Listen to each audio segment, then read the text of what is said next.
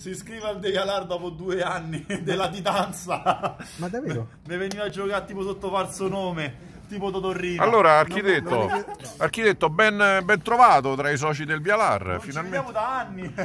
È un nuovo acquisto, diciamo. Sì. Finalmente- Giusto, giusto un nuovo acquisto. Si mette la maschera, si mette la maschera per, Per non farmi- per per non farsi riconoscere vedere, o per esatto. fare una rapina. Una rapina, direi una rapina. È il momento. Sentiamo qui l'omino dietro lo sportello. Esatto.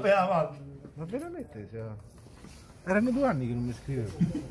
Senti, ma gli vogliamo far pagare gli arretrati all'architetto? No, no, no, che c'entra? Per noi è un motivo di grande prestigio Avere soci di questo campi, tipo. Questo tennis vintage, questo braccio d'oro. Grande braccio, grande talento, Questa, grande questa talento. palla a un millimetro dal nastro e a un centimetro dalla riga, o sul telone o sotto al gancio anche, però nel senso... Beh, eh, ragazzi. La ricevuta, dottor Paoli! Dottor Paoli!